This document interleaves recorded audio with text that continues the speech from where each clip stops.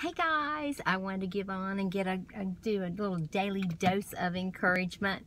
Um, you know, a lot of times when we um, have something going in, in our, on our lives that you know you might get a phone call or someone will say that someone's sick or someone needs help or uh, can you get to them quickly um, that person that called you sometimes is very, very um, hyper, very their their voice will be more elevated, their their excitement, their blood pressure might be up.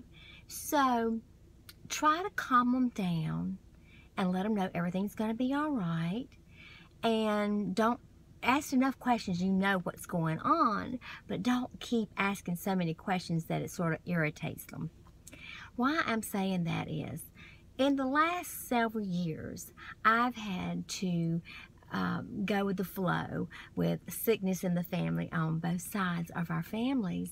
And we just have to be very calm, cool, and collected and sort of get all the facts and sort of calm them down, uh, a family member or a friend, and, and let them know that it's going to be okay.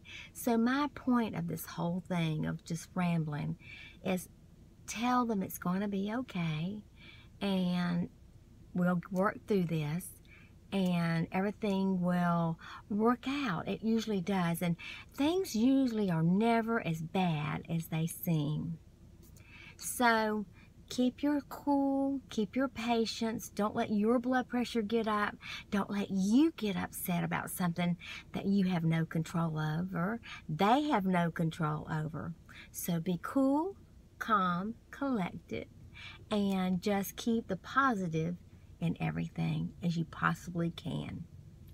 I hope you guys have a great day, happy day. Hope it's full of sunshine and beautiful memories. Remember to count to 10 if you have to. And remember to be kind and be kinder than they are. I love you guys and I hope you have a great day. Until tomorrow.